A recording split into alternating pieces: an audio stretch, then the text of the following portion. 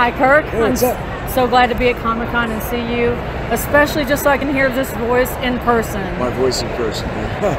Does it ever get sore, or is this just always the, the way? you know what? Believe it or not, it's a little bit more raspy than usual because I lost my voice during the last episode.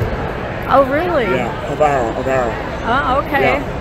Well, you know, I was a huge fan of you on Fringe. I, I, you have you have played the bad guy almost every time. I'm so mad you tried to shoot the gorillas in Dawn of the Planet of the Apes. Yes. No, but every character you play is so strong. Have you ever really wanted to do a like a drama or comedy or romance? Sure, but you know, of course, I like to do everything, you know. But it's you know, it's when opportunity rises. Yeah, you know what I mean? The unfortunate thing in our business, you're only as good as the last thing you did.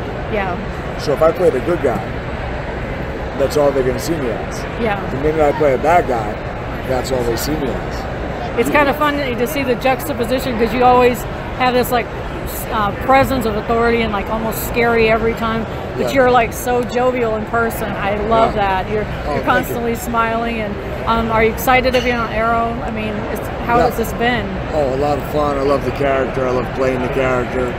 You know, the thing with bad guys, bad guys are fun.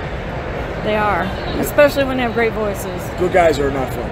Well, I'm I'm glad that you're doing all this. What's next for you? Are you doing other things along with your other Uh, I go back to Arrow. Go back to Arrow for next Arrow, season? Yeah, it it starts up like in five weeks. So So you're about to start shooting again? yeah, Oh my goodness. in. July. Yeah.